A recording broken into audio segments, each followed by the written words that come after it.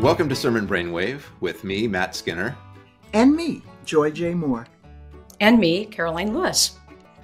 This podcast is for the sixth Sunday after Epiphany, which falls on February 12th, 2023. The first reading is Deuteronomy 30, 15 through 20. Choose life. Psalm 119, verses 1 through 8. Love the law. 1 Corinthians 3, 1 through 9. Paul says it's not really all about him. Matthew 5, 21 through 37, the antitheses. So I've summarized all four passages there. I think we're pretty much ready to wrap. Yeah, I think so. We're done. Yeah, you did a great job, Matt. It's been Thank great. you. Hard, hard texts this week, but important ones too, I think. Yeah, so we were, I mentioned this last week that one of the challenges, well, one of the issues with the Sermon on the Mount is that we, our last week's text started with, You are the salt of the earth, you are the light of the world. And then we have uh, 17 through 20 of this invitation to a reinterpretation of scripture or n- not not necessarily reinterpretation, but of ga- engaging scripture as we talk about what is what is the kingdom of heaven like? What is God calling us to be? What what and and then these definitions and embodiments of righteousness and such. And so then from 21 to 48, we get examples then of of engaging scripture through the lens of uh, of an embodied righteousness or what righteousness looks like or what god's what what difference does this kingdom of heaven that god is that jesus is ushering in now how does that then demand a reevaluation or or an engaging scripture in conversation as a as a as we evaluate and think about what this means, which at the end of the day is really important. Uh, just to just to make a comment about that in general, that it whenever you whenever we are are called to theological conversation and theological discussion that one of our primary conversation partners should always be scripture. And and how is it that scripture is front and center in any kind of theological construction or reconstruction or reevaluation or uh, or the way in which the way in which churches and denominations and individuals uh, what what are their resources for uh, theological reflection uh, and uh, particularly when there is uh, a sense of how theology needs to be reevaluated or or or or we feel a push to a different kind of theological thinking. So that's an aside. I don't know if you think you need to write a you know preach a sermon on the necessity of mm-hmm. reinterpretation of scripture for theological imagination and reconstruction. That would not be something that I would necessarily preach on. However, it is important and it and so what we're getting here we will not get the whole the whole part of this. We because we end before uh, then we go to the we go to um, we go to the transfiguration. But here we get concerning uh, concerning anger or the, the going back to the law the you shall not murder going back to the commandment of of you shall not murder. And then, of course, uh, going back to you shall not commit adultery. Okay, what does that now mean through the lens of this present kingdom of heaven, this, this kingdom of heaven that's coming near, this criterion of, of embodying the righteousness of God? And there we go. Yeah. What does it mean? right? Yeah. I think it's. I think we have to think about interpretation of scripture, like you're talking about. I think a, a preacher too needs to look at this text and then think about from what is Jesus liberating us, Mm, which is always a good question to ask. yeah. Because here, it's not fair to say he's liberating us from the law as if the law is No. some kind of. It, this is not Paul, for example. Mm-mm, mm-mm. we also might want to talk about what is the law, which we tend to think about as do this, get rewarded, don't do this, get punished, or vice versa. Mhm. the law, and here the Deuteronomy text is so important. The law is laying out a foundation for where is life to be found and how does community help. So Jesus is not liberating us from the law as if he's saying the law is this conservative, horrible old taskmaster. What he's actually saying is, you know what, the law has a vision for human flourishing that's actually way more, way more demanding than you thought before. So if any of you think that you got the law figured out, I got news for you, right? Because exactly one, human sin is so pervasive, but also I think what's imagined for a, a, thriving human society is so elusive and so mm-hmm. and, and always at risk which again gets back to that question of why is he so upset about in this gospel and where's the relief that he's promising and i think it's about this this new community he imagines and he sees the law and of course we all know the law has got some really weird things in it i'm not talking about each and every law but on the whole he sees the law as this is roadmap the wrong word? Certainly a pathway toward mm-hmm. human flourishing, which he wants to find and to stir up. And he's going to get angry in chapter six about people who practice their righteousness in public. Mm-hmm. He's going to get angry about people who use religion to increase their own status or who use religion to step on others or to increase the burden on others, which is why he's going to get so angry and say, Not everybody who says to me, Lord, Lord, is going to get into the kingdom of heaven. I mean, he's the thing that he's so angry about in this gospel is religion that actually does the opposite of its intention mm-hmm. that doesn't liberate people that doesn't lead to life but that oppresses people that leads to death and so i think that's part of what's going on here is in a mm-hmm. sense he's trying to rescue the law from from religious people who misuse the law mm-hmm. as a source of oppression or a source mm-hmm. of self what's the word promotion. Mm-hmm. Mm-hmm. Uh, that's what I, I think. I, so that's, that just requires some rethinking about the way we've been taught sometimes to think about law or scripture mm-hmm. or reward punishment. I, I we are not. yeah. Oh, go ahead, Joy. Yeah, yeah. No, I agree. I, I, I think tone matters in in this, and and and how do we, uh, what tone are we reading this in? Um, uh, so not just the words which the law can become, it can become a list, it beca- can become a line uh, that you don't cross or, or you have to cross, um, uh, a task that are done. Um, um, so not just the selected words, but the tone. And I think the tone of this reads to me as a higher standard. And, and, and it's not for status, which I think you're, you're rightly criticizing um, th- that makes Jesus angry, uh, Matt. But it, it it is a show of possibilities, and both of you have talked about um, this community forming. Um, uh, Karoline, last week you drew, drew us in, um, uh, prepared us even the week before of of of of moving from the individual to the y'all, to the we, uh, to the community, and um, I'll, I'll, say more about this when we get to the Deuteronomy text, but uh, um, it's it's a construction manual for uh, for forming community, and mm-hmm. the use of these familiar rules to become power over does not form the kind of community of belonging that has been God's intent from the very beginning. Um, the God who said it is not good for the human to be alone, but has given to humanity the capacity to have uh, creative flourishing in all the world. And, and so this has always been the idea. And yet along the way, groups in power, even those who bear the name of the people of God, have used this to oppress, to um, uh, to uh, exclude, uh, to burden.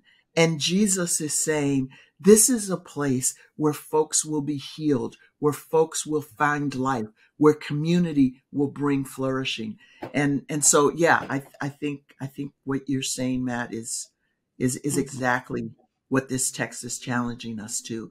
And, and mm-hmm. if we remember that when Eugene Peterson wrote the message, um, one of the reasons he chose to write it the way he did was he wanted the words that we read in uh, our reading of the text to have the same punch that it would have been heard in uh, in the first century. So, if or or before that, if you're reading the the the um, uh, the Old Testament, um, but if we're reading these texts and our congregation is simply saying yes, yes, yes, I wonder if our tone is as life giving as Jesus' tone was. Uh, I'm, I'm going to confess I've I've gotten hooked on the Chosen, uh, the uh, the video uh, apt series uh, that is retelling the life of Jesus, and when it does uh, the Sermon on the Mount and it talks about Jesus teaching with an authority, it points to this tone which allowed people to hear words they should have known and not hearing it it it it, it was convicting but it was an invitational convicting and I, I wonder if that's how we need to be preaching knowing our congregations and are we able to have to to use the words with the kind of punch that Eugene Peterson was trying to recreate so that it's convicting in a life-giving way hmm.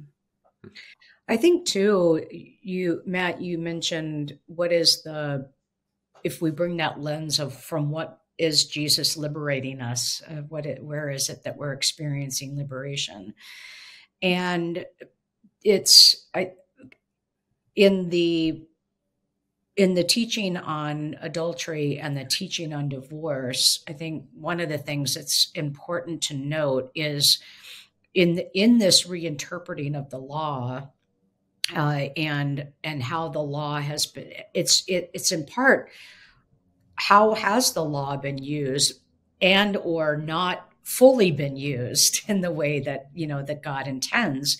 And so, you know, verse 28, but I say to you that everyone who looks at a woman with lust, and then verse 31, whoever divorces his wife.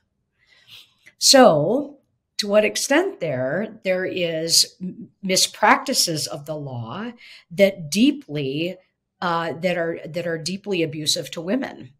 And uh, that where women have been placed in in incredibly uh, abusive or oppressive situations or that men have have abused their own power or abused the law to divorce at whatever a man chooses to.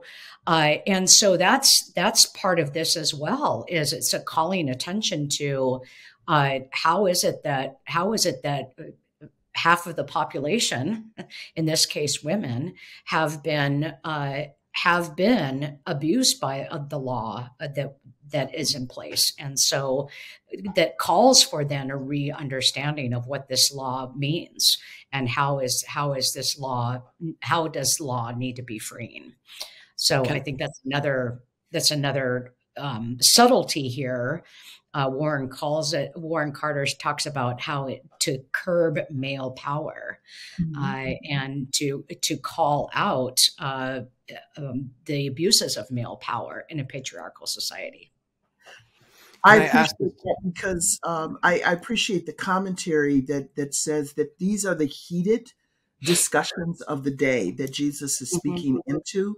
And, and, mm-hmm. I'm I'm gonna I'm gonna tweak um, your your language just a little bit. You said half the population, and I'm gonna I'm gonna add to it to say half of humanity that has been created in the image of God. Mm mm-hmm. have been oppressed. So, you know, it's it's like, you know, this is the image of God and God's laws for flourishing, God's constructions for forming a flourishing community have been used to oppress, to objectify and and and and to harm mm-hmm. half of the people that are part of the community mm-hmm. of God. Mm-hmm. Matt, Matt, I jumped in on you. Oh, it's getting hot in here. Is all I was saying. Uh, oh. um, Karoline, you you talked about. You said half the population has been abused by the law. Is it also fair to? I mean, is it more right to say have been abused by lawbreakers or been victimized by lawbreakers? I mean, is it the law's fault Ah, Yeah, well, that's okay. or is What? it or is it Right. humanity's fault? I'd Right. say I not just think- men's fault because I, I think I think women sin against women too. But you know, I, I, get- I get your point and grant all your points. But Thank you know what I mean? Is the problem the law or is it the problem our sinfulness? I Yeah, think I that's, that's fair. exactly what we're talking about here. Is Yeah. that Jesus? The, we've we've led up to this, so thank you, Matt, for for for for asking that, um, because that's what it is. It, it is the um, oh, Karoline, you said it so wonderfully with those fancy words in, uh, earlier about the theological interpretation of reimagining the text. Uh, Whatever you said. Yeah, yes, those. I, well, I just and I, I asked the question. Uh, I asked the question because I don't want people to hear this passage and think, "Oh, the law is terrible." Exactly. And I I- want people to read this passage and say, "Oh, law is humanity, humanity's terrible." yes. Um, and I, I say this as somebody who I think has broken every single thing on this in this passage. Um, I can't drive to the store without saying "you fool" in my heart at least twenty times. Um, Mhm, yeah. with- So on the one hand, we can, we can joke about it too, like that. But mhm. it's interesting too how some pass some people zero in on certain sins here as way more important than other ones, That's right. and Yeah. that as well has been used to um, No, that deny people's humanity in the church. Right, and that yeah, you're absolutely right, and that's it. it and that's what it comes. That's why this is this. These passages are so important, Right. is because Jesus is pointing to where have uh, how has our sinfulness or our brokenness misused the law that is meant for flourishing, and so that that yeah that that um, um, what would I say that nuance is really critical. Yes. Yeah, which is what I meant. But you knew What's what- part of the beauty of the passage is that there's stuff in here that's like every day, who cannot do this Yeah. next to stuff that Mhm. uh, some people manage to avoid in their lives. Mhm. And I once heard a call in on a radio um, where uh, uh, a, a Muslim was saying, you know, people um, want to say that the Old Testament God uh, is harsher than nice little Jesus. And he used this text to say, I get an eye for an eye.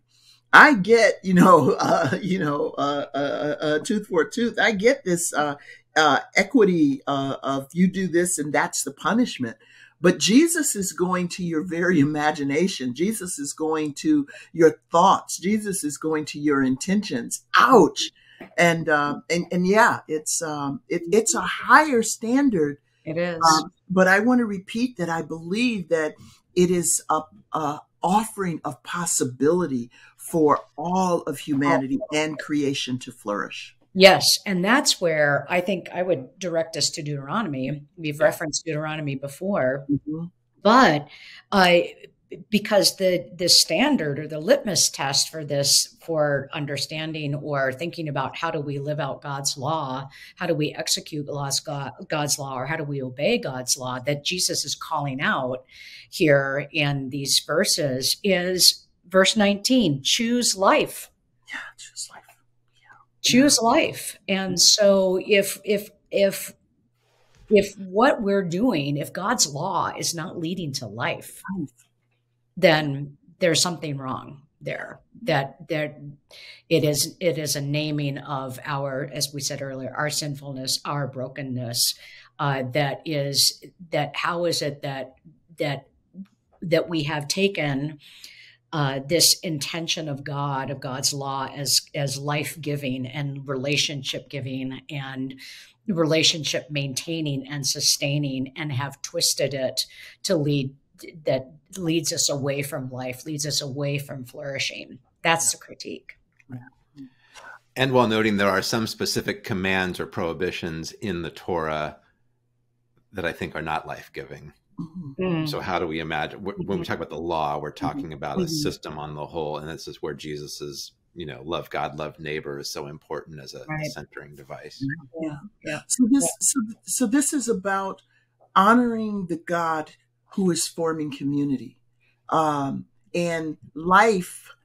This this promise in Deuteronomy is not merely how long we get to breathe, um, but it is um, moments of flourishing. The the extent of our flourishing. So there was a uh, she's she's a, a mother now, uh, but but there was a, a kid in one of my churches that um, when she talked about instructions, she called them constructions.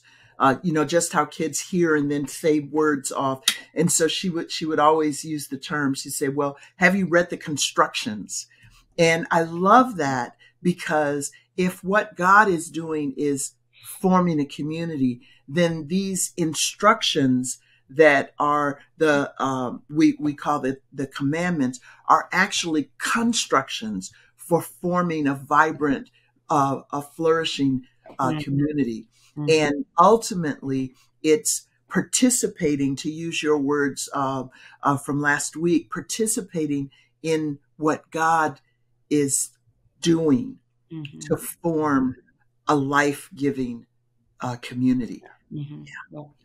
Which, of course, Torah means instruction exactly. in English, but much more than it means law or legislation. And so, exactly. exactly. So then, for the psalmist to say, "When I, you know, I will praise you when I learn your righteous ordinances," you know, when the psalmist is talking about statutes, that's this is all part of God's Torah, mm-hmm. God's right. instruction for, like you said, construction or for formation. Yeah. Mm-hmm. Because I don't love a lot of the laws. Right. you know, I really, a lot of the specific ordinances in and of themselves taken as rules, mm-hmm. I don't really love those. But taken on the whole is imagining what is, what are these ordinances working toward and from whom do they come? Mm-hmm. Separated from the character of the God who gives them, mm-hmm. they mean not a whole lot to me except for survival's sake. Mm-hmm. So but you keep them connected to the yeah the character of this deity. Then yeah, then let's talk. Yeah, yeah. So with with Psalm, uh, it's a we can look at these as a creative presentation of a constructive challenge, which is to obey and live. Um, and and the challenging homiletic turn that that I might suggest for this this text is not prescriptive or even descriptive, but to be inquisitive and to ask and this this goes back to to the Matthew text as well. What is the one thing that we refuse to adjust in our life and practice um, that would uh, enable us to follow God's higher calling? Mm-hmm. And, and, so to to pose it as a question rather rather than uh, a a prescription or, or even a description, but to allow folks to sort of scratch their head. Matt, you were honest in saying, you know, you know, you can't drive on the streets without, you know, calling fool, you know.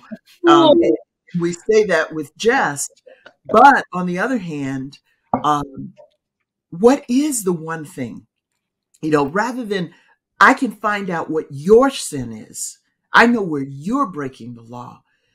Turn that inward and saying, where, where where's this text speaking to me? And and I know we've been talking about community formation, but one turn for this might to be to allow this to to punch home so that individually we ask ourselves where am I not willing to follow God for God's bigger, bigger construction of a flourishing community? And I, uh, one more thing about the psalm before we go to the Corinthians text, but I appreciated the uh, commentary, Joel LeMon talking about the the the metaphor too of walking. Mm-hmm. That uh, that that the way to walk in the law is a lyrical way of describing what it means to follow the law in every respect. Uh, and that it's it's the totality of one's behaviors and one's activities.